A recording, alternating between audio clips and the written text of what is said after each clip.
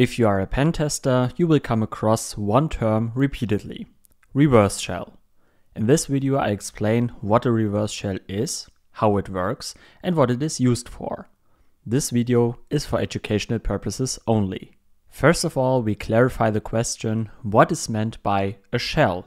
In simple terms, it is an interface through which a user interacts with the operating system. But why is it called shell? Well, the kernel is the operating system's core and the shell forms the outer skin, so to speak. With the help of simple commands, you can navigate through directories, start programs, or manage permissions. In this video I used the term shell to refer to the bash, which is the Linux equivalent of the Windows command prompt. But what is a reverse shell?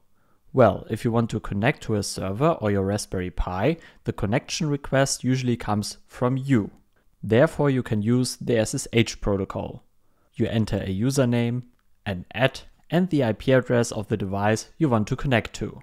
You will then be asked for a password and if you enter it correctly, you can operate the device via a shell.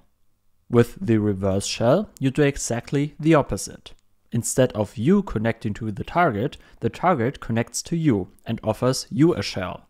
Unlike SSH, you don't have to log in, but the target provides you with everything you need.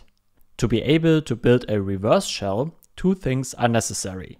A program which accepts incoming connections on your computer and a command on the target computer which then voluntarily establishes a connection with you. A popular program that can be used to provide a listener for incoming connection requests is Netcat.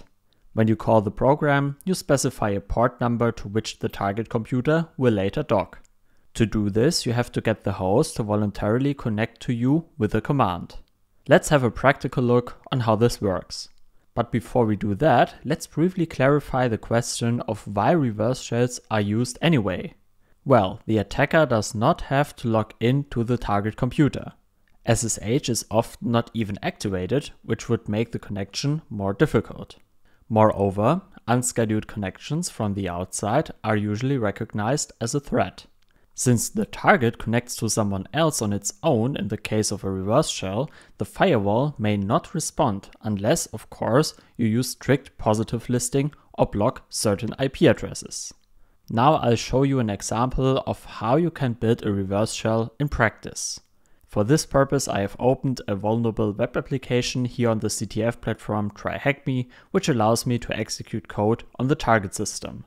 This is completely legal on TryHackMe because it's a well-known CTF platform.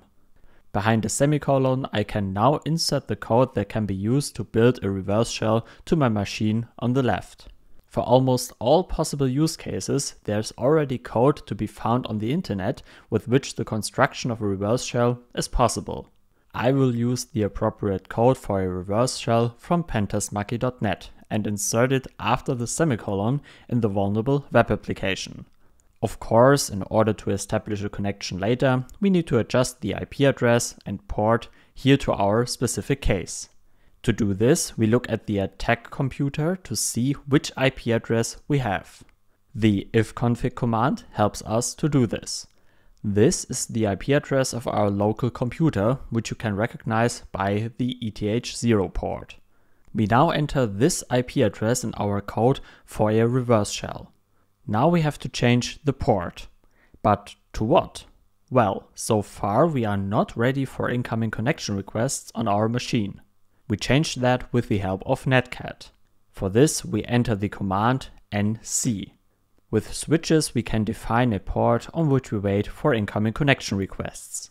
I choose port 2222 here and enter it into our payload on the target computer. After clicking enter, you see that our machine is now waiting for someone to connect. On the target computer, I now click on convert and I'm connected to the web server on my side.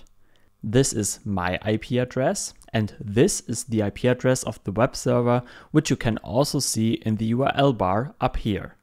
We are logged in as the user challenge and can now look around on the server, start programs, etc. Thank you for watching and see you next time.